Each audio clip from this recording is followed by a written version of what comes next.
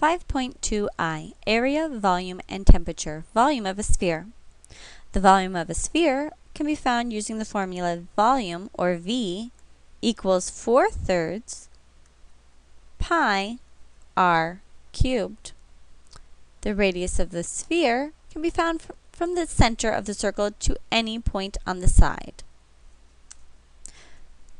We will now see how we use this in example 1. In example 1, remembering that volume equals 4 thirds pi r cubed, we see that we need to have the radius. We were given the diameter of this sphere, so we now need to find that radius is diameter divided by 2, or that the radius equals 9 feet divided by 2, so the radius equals 4.5 feet. We can now place this into the formula.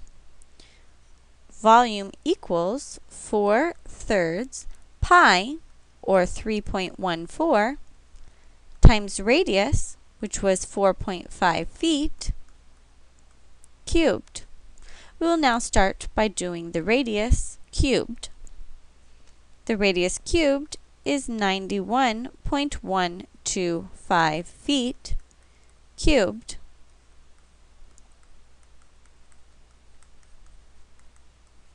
We now multiply by the 3.14 to get 286.1325 feet cubed. Remembering that when we multiply by a fraction, we can put the other number over 1 and multiply the tops and the bottoms. When we multiply the top, we get 1,144 0.53 feet cubed all over 3. We now divide to find the answer to be 381.51 feet cubed. This is the volume of the sphere.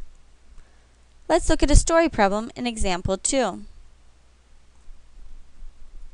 In example 2, we see it asks find the volume of the planet Pluto if the radius is approximately 1,195 kilometers.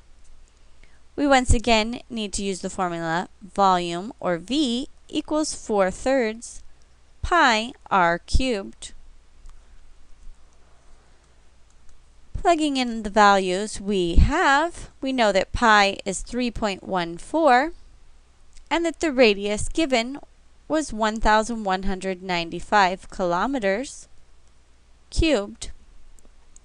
When we cube this radius, we find it to be 1, 706, 489, 875 kilometers cubed, and we bring down the rest of the values.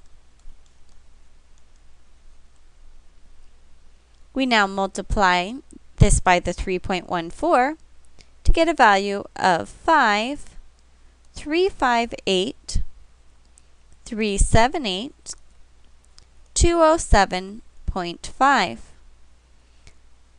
And this is still multiplied by the 4 thirds.